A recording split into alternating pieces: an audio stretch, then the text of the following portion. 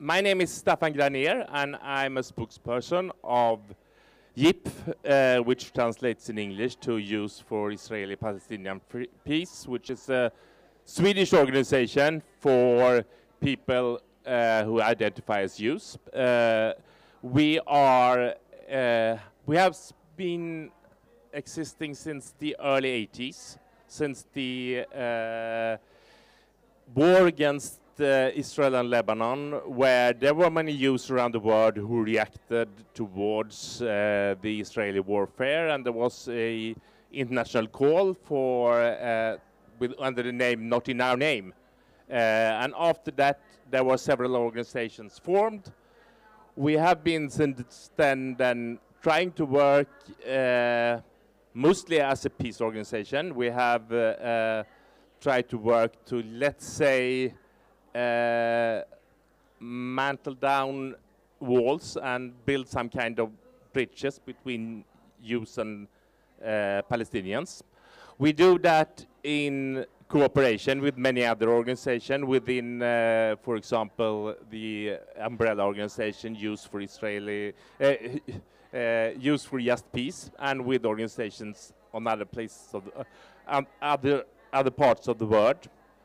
Uh, and of course, we also cooperate and try to learn from and to have information from many organizations in Israel and Palestine.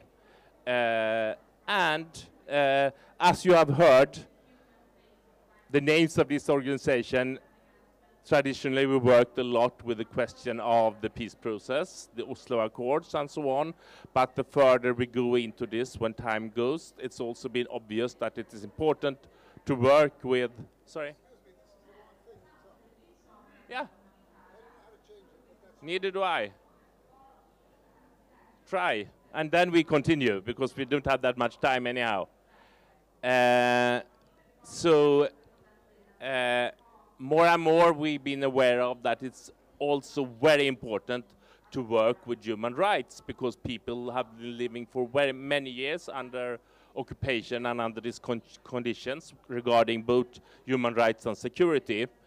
Uh, one of the organizations we then have been very useful for us is the B'Tselem organization, which is an excellent organization that uh, collects information and reports and uh, databases that we use that I really could recommend. Uh, and we have with us today then uh, Roy Yellin from B'Tselem that we invited here. So uh, you could also add something to the presentation of your organization. So um, I, my organization was established um, over a little over 30 years ago during the time of the first uh, Palestinian uprising against the Israeli occupation, 1989. Um, the assum assuming that there will be peace was also also sort of the assumption of the people that uh, um, founded uh, B'Tselem, they did not think that I would be sitting here today, 30 years later, um, doing this type of work.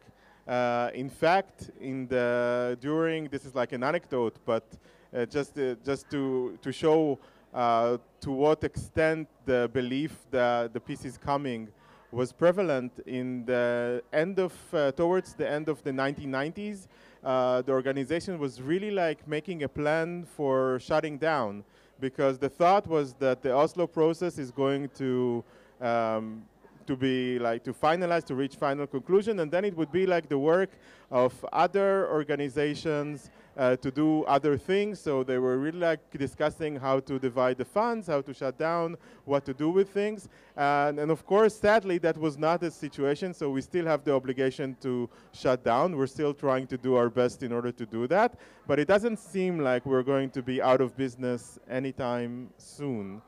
Um, the, but this thought that the peace process is really like something tangible and will end up with a concrete result also was part of really like the, um, uh, the, the, the thing that propelled people to invest more in peace movements and to postpone and delay for later addressing the pressing human rights issues on the ground. Everybody thought that like, well, you know, the settlements, that's bad, that's illegal according to international law, but uh, in the final agreement, that will be sorted out.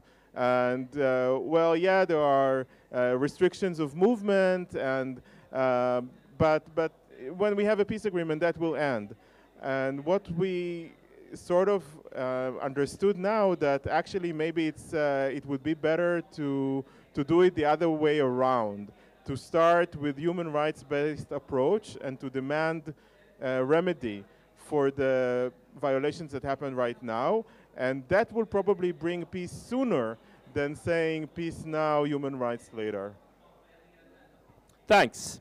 Uh, could you elaborate a little bit more about the say, current situation for uh, uh, trying to defend human rights under this situation? We will learn a little bit, and you know much more about it, about the, let's say, uh, legal conditions and so have they changed and developed? Yes, the more um, the more entrenched the, this method of controlling, subjugating people uh, has become, you also need more and more restrictions on, on other freedoms that were kind of like uh, a non-issue before.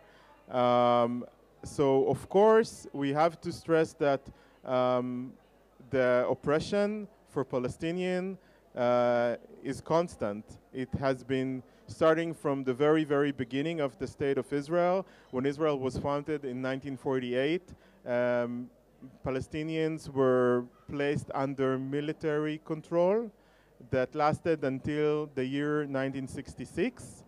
And then in 67, after the Six Days War, when Israel um, occupied the West Bank and, uh, and the Gaza Strip, um, the, this apparatus of military control, uh, military dictatorship was in place for them, uh, and it was ready for, the, for to, to, to include the, the, the Palestinians that, um, that were occupied then.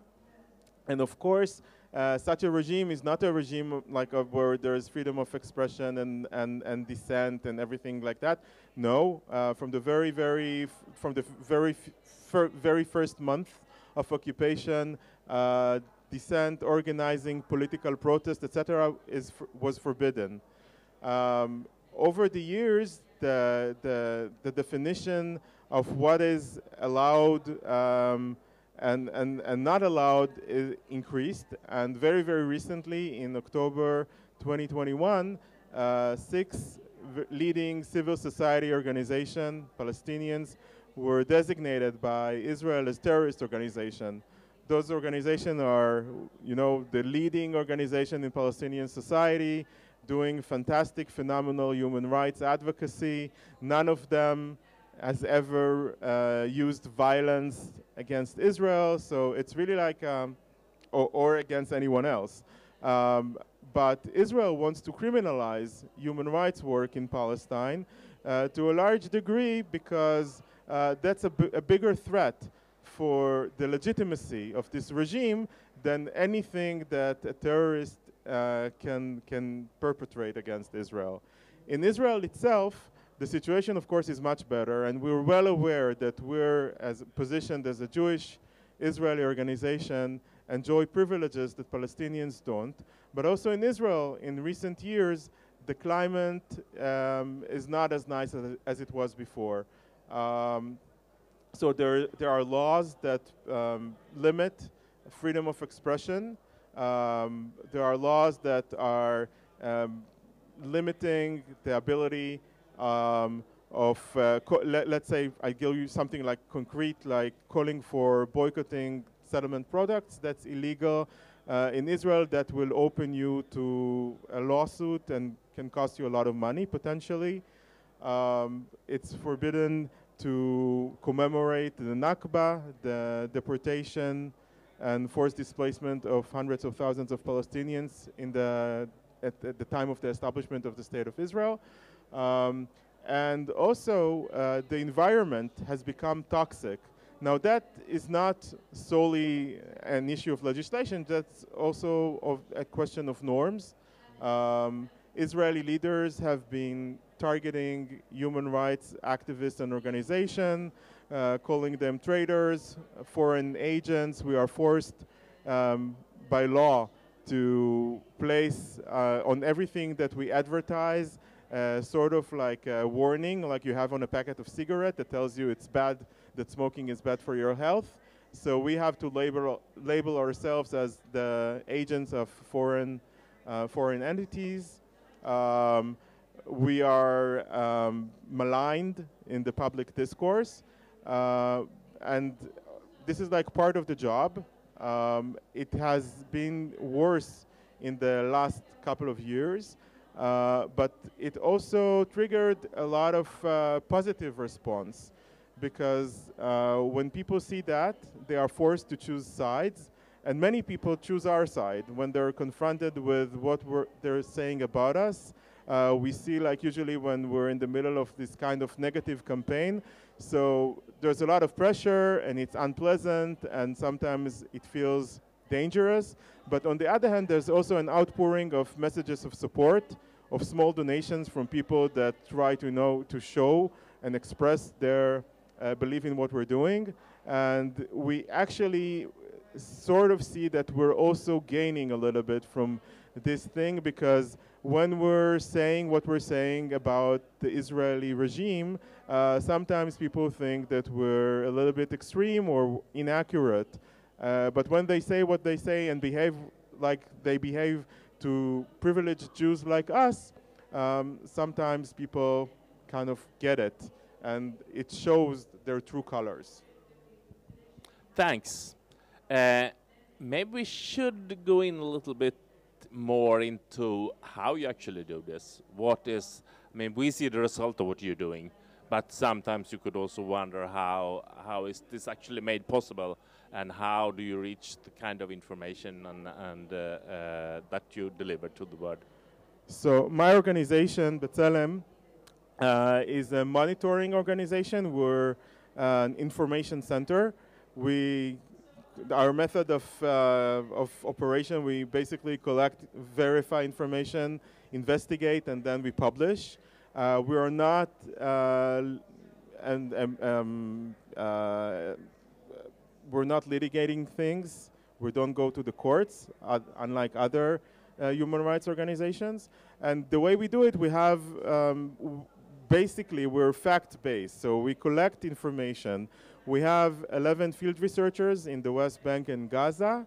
Um, so whenever something happens, they go there and investigate, uh, collect testimonies, collect forensic information. Uh, that information is then transferred to our office where there are what we call da data coordinators. Their responsibility is to verify this information and to collect even more uh, sources from um, formal and informal sources to scour the, the web and social networks because a lot of times people post now on TikTok, and Facebook, additional information or maybe they have like uh, a clip or a photograph, a photograph of something that will add or shed light on what happened.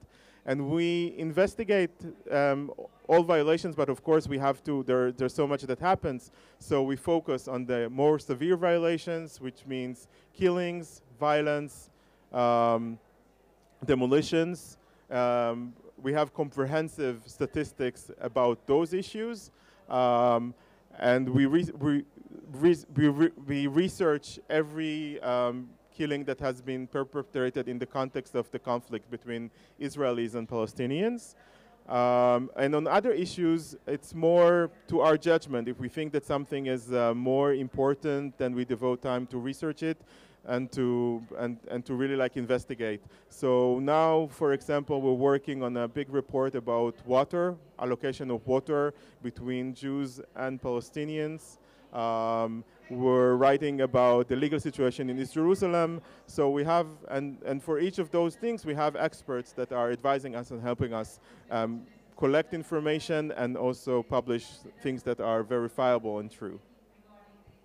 Thanks. Uh, I'm thinking as a follow-up question that, that we who are kind of interested in and working with these questions often realize that truth is not that easy to establish uh, when it comes to information that you get from these areas on both sides. So what are your kind of principles or how do you handle that? Um, yes, truth is like the first victim of war. That's, that's kind of like common knowledge.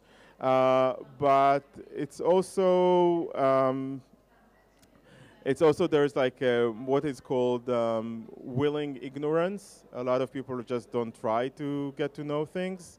Um, and what we do is really like do very, very basic activities. Like if something happens, we go to the scene and then we kind of take uh, if, if for instance it's like a wounding of somebody or somebody was shot, so we position people like we say like uh, where was the so where were the soldiers or whoever shot, where was the victim. We try to look around if there was like CCTV cameras that documenting what happened. Uh, we're collecting eyewit- testimonies from eyewitnesses so we can cross-reference them, and we have our own rules about how we can corroborate things. Um, like uh, we have our own rules about what we can or cannot say. So let's say if I have only eye one eyewitness to something that is like pretty severe, I think that for most cases that would not be sufficient enough for us to publish um, description of the event because people's memory tend to be shady. Sometimes they don't remember things right. So I would need like at least at least more um, another testimony from somebody who didn't talk to that person to verify that, or something else that will corroborate it, like forensic evidence. Um, maybe there's a, um, um, an autopsy, so that's like um, something that we can check. Uh, we do the necessary work in order to make sure that we're honest and truthful. That doesn't mean that we're not making mistakes. We're only human. But um, if we find out that we made a mistake, then we correct it. We publish. We a lot of times, a lot of journalists get a, a text from me saying that, like, you know, we rechecked something, and and uh, what we concluded before is not uh, our conclusion right now. So we just try to be as transparent as possible and to stick to the facts as, as much as we can. And if we're not sure, we simply will not say it. So collecting and organizing or uh, organizing information and uh, investigating is of course an important part of defending human rights, but I would say it's probably not enough. It's important that these things also are uh, becoming some kind of more widespread knowledge. So do you handle that? Um, yes, like uh, we're not, we don't want to be a museum or an archive. We're trying to influence reality. So the most important thing for us is to get those the things that we collect outside to publish. Um, we are investing a lot of our effort in advocacy and a lot of and the other part in campaigning. Uh, we issue quite a lot of like press releases. We take journalists on tour to see the facts on the ground, to talk to people. Um, we organize also tours for decision makers. If there are like uh, visiting diplomats in our country, we try to contact them and to get them to go to the field and to see in their own eyes what we, what we know and to talk to, to people that are there. That's mainly like something which we like to facilitate because uh, the, the usual suspect that gets those people's ears are people that um, have like political interest in like you said before, um, not really like uh, presenting reality for what it is, not being uh, describing, not describing reality, but actually like uh, promoting a different distorted version of it.